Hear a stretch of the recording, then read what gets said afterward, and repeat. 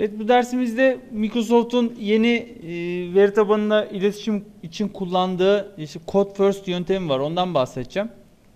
Code First yöntemi e, bize ne avantaj sağlıyor? E, daha önceden kullandığımız e, Entity Data modelde e, var olan bir veri tabanına bağlantı yapıyorduk. Code First'te e, bu var olan bir veri tabanı olması gerekmiyor veri tabanıyla çalışırken. Yani arka tarafta veri tabanı oluşturmadan direkt class'larla veri tabanı veri tabanlarını tasarlayıp işte bağlantı oluşturabiliyoruz direkt. Ee, bana göre en büyük avantajı bu. Bir de esnek. Ee, yani model oluşturuyorduk daha önceden. işte hata alıyordu, modeli siliyorduk, tekrardan tabloları üzerine e, veri tabanında veri tabanından ekliyorduk falan. Bunlarla uğraşmayacağız. E, bu açıdan daha e, esnek. Şimdi bunu Codeverse'ü göstermek için e, şöyle bir tane yeni proje oluşturalım. Bir tane konsol oluşturacağım. Daha sonradan e, uygulamalar için bir tane web projesi oluşturup onun üzerinden e, devam edeceğiz derslere. Şu an sadece Code First nasıl oluşturuluyor? E, bunun temelini e, göstermek için bir konsol projesi oluşturuyorum. İsmine e, Code Code First diyorum. OK diyoruz.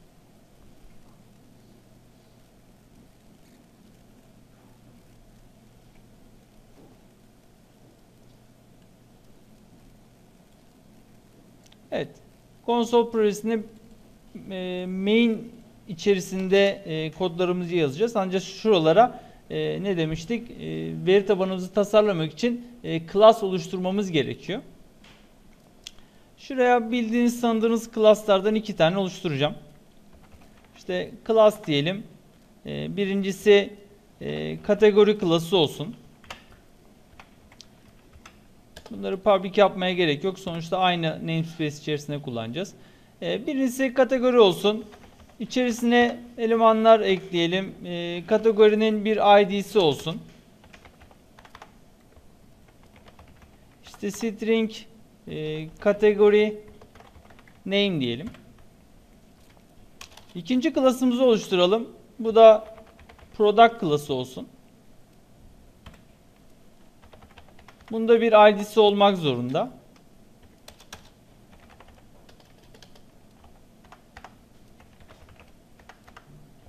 İşte buna product name diyelim.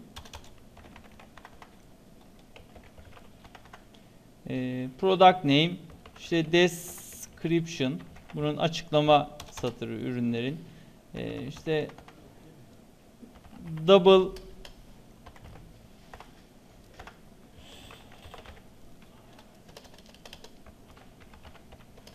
price diyelim. Bunun fiyatı olsun. E, daha sonra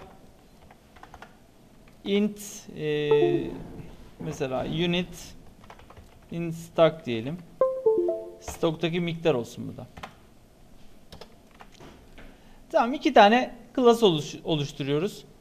Ee, arkada veri tabanında oluşturmak istediğiniz tabloları burada tasarlıyorsunuz. Class oluşturarak.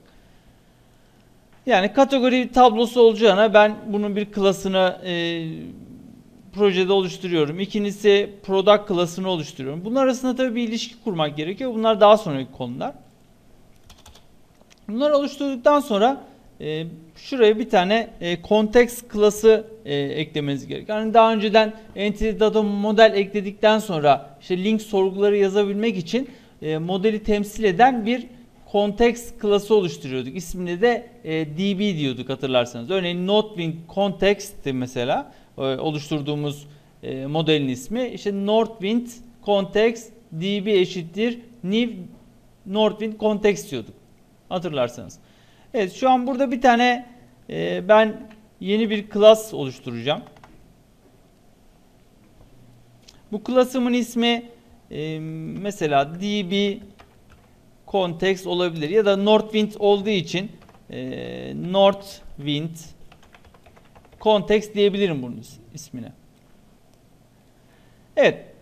Şimdi bu bizim için Ado.net'teki e, data adaptör olarak da düşünebilirsiniz. Bunun e, yaptığı görev şu klaslara bağlanıp bunlar üzerinde işlem yapmak, bunların üzerine bir kayıt eklemek, kayıt güncellemek, kayıt silmek, bunlarla tamamen iletişime e, artı nasıl bağlanacağını bunların hepsini e, bizim kontekst klas- klasımız e, oluşturuyor. Ancak buna bu özellikleri kazandırmak için bunu bir klastan e, türetmemiz gerekiyor. Bunun ismi de işte db context. Ancak şu anda gördüğünüz gibi altı kırmızı. Çünkü bunun e, DLL'i şu anda projemizde yok. Bunun DLL'ini projemize eklemek için e, NuGet bir saniye şunu kapatıp açayım ben.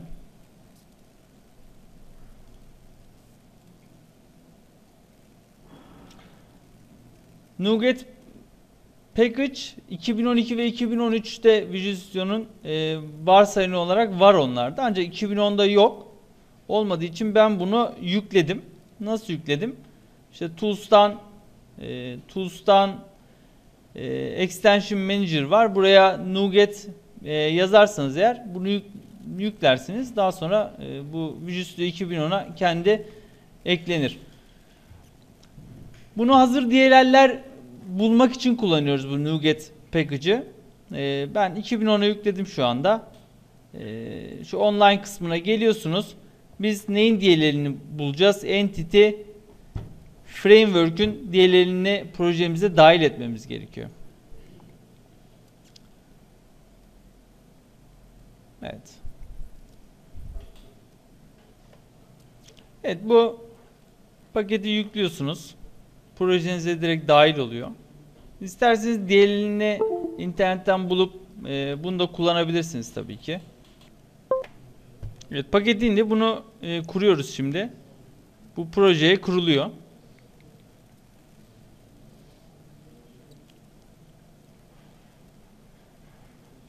Evet. Bakın projede bir şeyler değişti. Şu referanslara bakarsanız eğer Entity Framework artık burada. Şuraya geldiğinizde de DB Context'in yanında sol alt köşesinde e, bir işaret çıkıyor. Gördüğünüz gibi. Bunun üzerindeyken, mouse üzerindeyken CTRL noktaya basarsanız eğer referans olarak yukarıya ekleyeceğiz namespace çıkar. Enter'a basarsam e, yukarıya eklenir. Tamam mı? Şu an buna Northwind Context'te e, data adaptör gibi e, bunlar arasındaki iletişimi sağlayacak olan özellikleri ben e, sağladım. Şu an Northwind konteksinde bunlar. Şimdi ya, yalnız bu context klasına e, hangi klaslarla çalışacağını e, belirtmeniz gerekiyor. Bunu da belirtme şekli gene e, integer değil de db set içerisinde cluster'ımızın ismini belirtiyoruz. Şuna da products çoğul halini tanımlıyorum. İkinci klasım var. İkincisi de e, ney? Kategori. db set kategori. Buna da kategori istiyorum. Çoğullaştırıyorum bunları. Evet. Yani ben bu context dosyası aracılığıyla products tablosunu eğer e, istersem benden product tablosuna gidip bütün kayıtları getirir. Filtreleme yaparsanız kayıtları azaltırırsınız. O sizin bileceğiniz iş. Evet. Nasıl kullanacağını e, şurada gösterelim şimdi. Şimdi yapmamız gereken e, Northwind context db eşittir new. Evet. Daha önceden model oluşturduğumuzda kullandığımız yöntemin aynısı. Evet, bir tane kontekst oluşturduk. Kontekste ben bir kayıt oluşturup onun içerisine eklemek istiyorum. Kaydımın ismi, e, kaydımın çeşidi kategori olsun. Örneğin şöyle entity diyelim. New. Entity'ye bir tane kategori name aktarayım. Ne olsun? Şöyle bir kategori yoktu değil mi? Beverage mi vardı? Şöyle kategori olduğunu hatırlıyorum. Evet bir tane entity oluşturdum. Gördüğünüz gibi bir kayıt. Bunu e, formlardan alabilirsiniz. Daha sonra e, bu entity'yi, bunun ismine kategori diyelim. Bu kategoriye ben nereye eklemem gerekiyor? Kategoriyi şuraya eklemem gerekiyor. Evet, kontekst dosyamızı da oluşturduk. Açar şuradan db nokta var olan kategorilerin üzerine bir kayıt ekliyorsunuz. Bakın benden kategori cinsinde bir e, nesne istiyor. Buna kategoriye gönderiyorum. Gönderdikten sonra da db save change yapıyorum. Evet. Şimdi arka tarafta herhangi bir veri tabanı yok gördüğünüz gibi. Değil mi? Biz kendi kendimize burada iki tane class oluşturduk.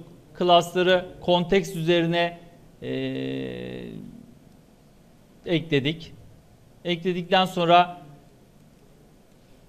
bir kategori cinsinden bir veri oluşturduk. O veriye ne yaptık?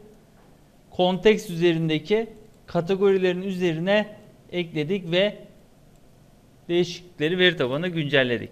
Şimdi ben bunu çalıştırdığım zaman herhangi bir kayıt var mı yok mu veri tabanına kontrol etsin. Burada kaydı eklesin. Ekledikten sonra bir de eklediği kaydı bir de sorgulatalım. Ne yapalım? Var. Kategori izleyelim. Bütün kategorileri veri tabanından çekelim.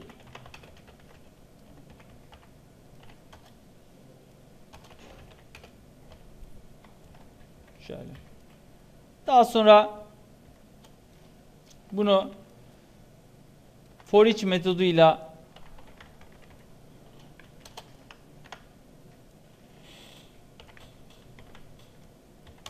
dolaşalım. Dolaşırken de bunu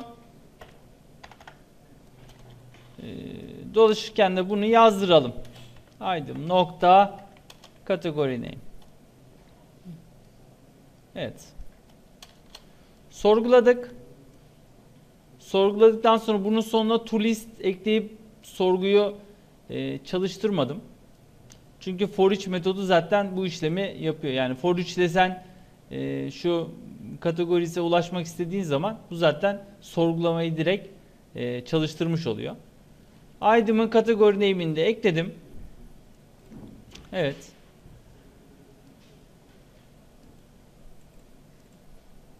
Şöyle de bir tane konsol konsol nokta read deyip kürsörün okumaya devam etmesini sağlayayım. Evet. Çalıştıralım şunu bakalım ne olacak.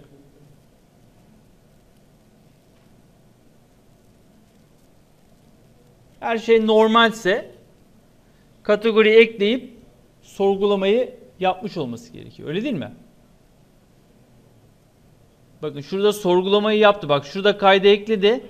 Burada sorgulamayı yaptı. Eğer kayıt veri tabanına eklenmemiş olsaydı şurada zaten hata verirdi. Kayıt eklenmemiş olurdu. Öyle değil mi? Bakın kayıt eklendi ki burada sorgulamadan dönen değer değil mi? İsterseniz programı durduralım. Ben programı yine çalıştırırım. Ne olması gerekiyor?